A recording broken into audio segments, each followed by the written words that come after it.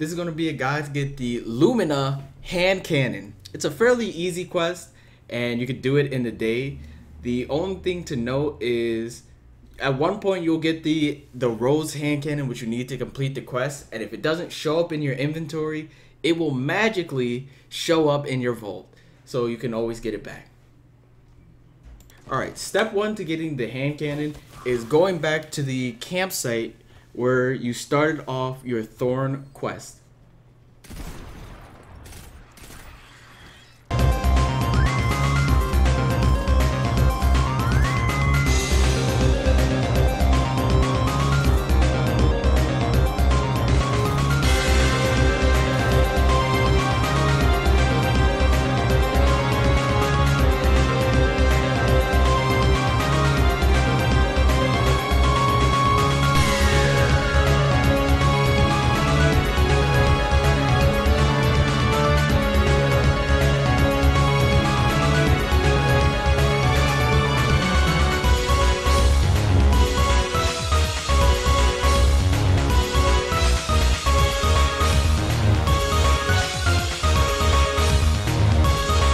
Alright, once you get the, once you find the chest on the Thorn site, you'll get two things. A piece of paper and a signal uh, positioning device. You must look at the signal positioning device in order to find the location of where the chest is in a lost sector on Earth.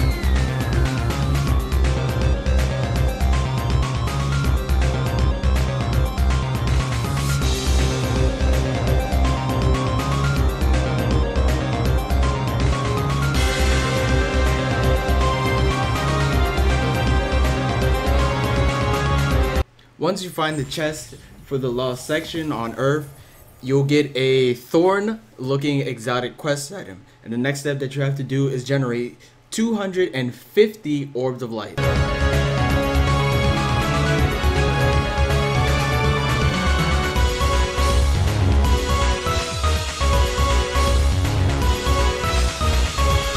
Once you're done, finish generating all the orbs of light, the hand cannon will update and it'll drop four different separate perks and it'll require you to restore the rose to its true form.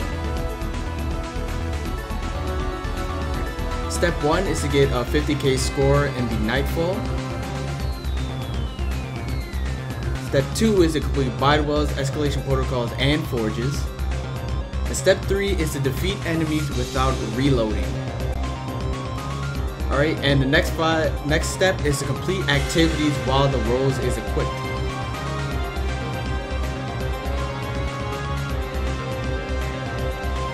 Now, once you complete all the activities, it will update once again, and you'll be at step 6, which is to deny an invasion and gambit, generate 50 orbs of life for your teammate, and get hand cannon final blows. And the last step is all you have to do is go into the Well of Thousands, shoot crystals, and defeat Xol with a rose equipped in one run. And as you can see on the screen right now, these are what the crystals look like. And it's fairly simple, just run in, kill a bunch of stuff, and you get your Luminous at the very end.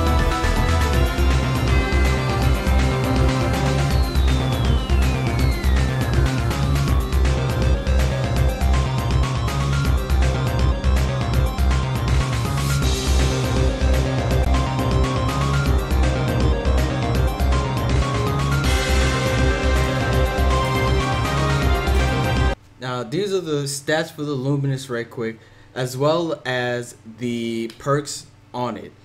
And that's about it.